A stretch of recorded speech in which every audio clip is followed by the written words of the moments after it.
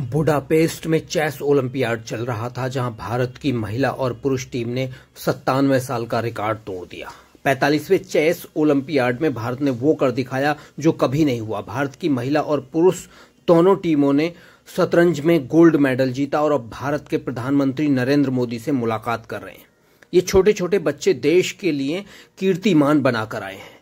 उस पर पूरे देश को न सिर्फ़ गर्व है, बल्कि पूरा देश इन्हें सैल्यूट कर रहा है।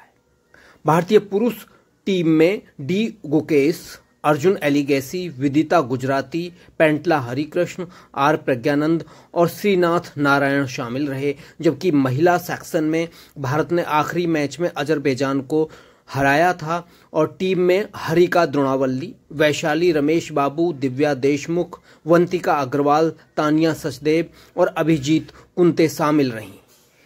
इससे पहले आपको बता दें कि भारत ने दोनों सेक्शन में गोल्ड जो जीता है, इससे पहले 2014 में भी भारत ब्राउंज मेडल जीत चुका है। भारतीय पुरुषों ने इस टूर्नामेंट में शानदार खेल दिखाया और आठ मुकाबले जीते। इसके बाद डिफेंडिंग चैंपियन उज्बेकिस्तान से ड्रा खेला। इसके बाद 21 सितंबर को उसने टॉप सीड वाली अमेरिकी टीम को मात देकर एक तरह से गोल्ड पक्का कर दिया था।